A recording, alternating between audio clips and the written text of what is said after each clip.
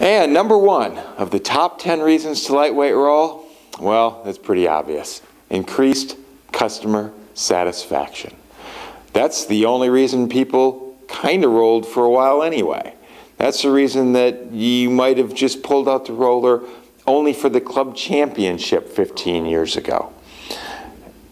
Smoother surfaces, that's what rolling does.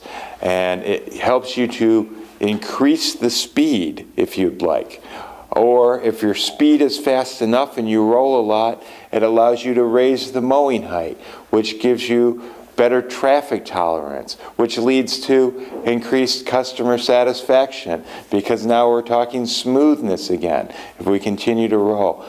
As you know, if you golf, uh, that when you roll, when you putt, and that ball just has that nice smooth turn at the end, and it's you, you recognize it. I don't know if I can explain it that well. But number one reason to lightweight roll is customer satisfaction, which is why it's so easy to sell a roller to your membership if you say, hmm, that's the number one reason I'm getting it is to make my members happy. Oh, I'll also share with them the other nine reasons that it's important to lightweight roll.